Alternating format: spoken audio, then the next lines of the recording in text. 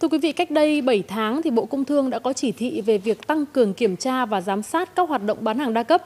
Hoạt động của một số các công ty đa cấp sau quá trình thanh kiểm tra này bắt đầu có dấu hiệu đi xuống, không bán được hàng, không mời được người mới vào hệ thống, doanh thu thì giảm sút.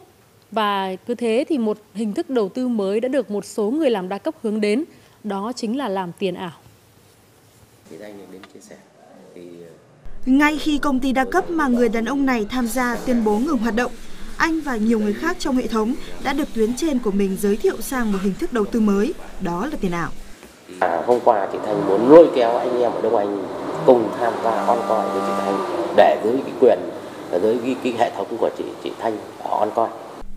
Anh cũng cho biết tuyến trên của mình là người đứng đầu một hệ thống hàng trăm người. Nếu như thời gian trước họ được nghe về đa cấp thì giờ họ được chia sẻ, giảng giải về tiền ảo. Việc là tài chính OneCoin thì cái điều rất là hay là một người nghèo nhất vào đây bỏ ra 15 triệu 700 anh ta không làm gì cả thì sau một năm tài sản của anh ta cũng tăng lên 6 lần.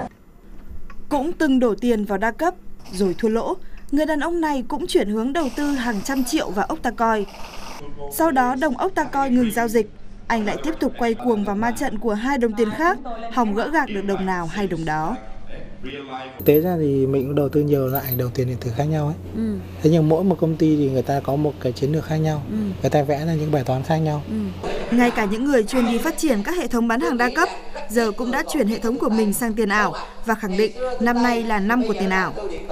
Ừ, sau khi đa cấp bắt đầu có vấn đề thì là mọi người kéo sang cái đồng coin rất nhiều. Tuy nhiên thì rất nhiều các bà, các mẹ, các chị không hiểu gì mà vẫn cứ tham gia. Sau 6 tháng từ khi các đồng tiền ảo manh nhà phát triển, theo các nhà đầu tư, tại Việt Nam hiện có khoảng 40 đồng. Cũng trong 6 tháng này, có tới 700.000 người không còn tham gia đa cấp nữa. Chính cơ quan quản lý các hoạt động đa cấp khẳng định lượng người từ đa cấp chuyển sang kinh doanh tiền ảo không phải là ít. À, theo thông tin mà cũng nắm được thì có một số các tổ chức cá nhân đã chuyển à, sang hoạt động một cái mô hình à, kinh doanh huy động vốn à, dưới dạng nút bóng dạng đa cấp ví dụ như kinh doanh tiền ảo theo Bộ Công Thương, hiện nay trên thị trường xuất hiện hoạt động giao dịch tiền ảo theo mô hình kinh doanh đa cấp.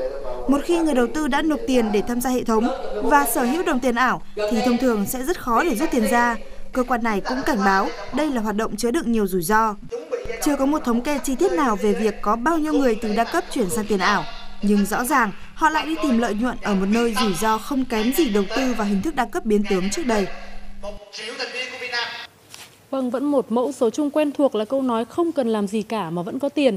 Vậy thực chất việc đầu tư tiền ảo ở Việt Nam là như thế nào và nó tiềm ẩn những cái rủi ro gì?